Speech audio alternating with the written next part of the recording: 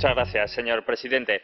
Al inicio del mes de septiembre, el grupo Caterpillar anunció el cierre de su empresa en Charleroi, Bélgica. 2.200 empleados de la fábrica y alrededor de 5.000 subcontratados van a perder sus empleos en las próximas fechas.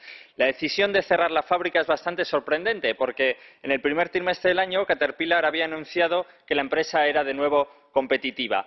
¿A qué se debe este cierre? Caterpillar tiene su sede europea en Suiza, lo que le permite pagar el 30% menos de impuestos. Y esto tiene un nombre, esto es evasión fiscal. A pesar de ello, a pesar de ser una empresa con beneficios, asistimos a una nueva deslocalización de una empresa más, una empresa que recibió fondos públicos.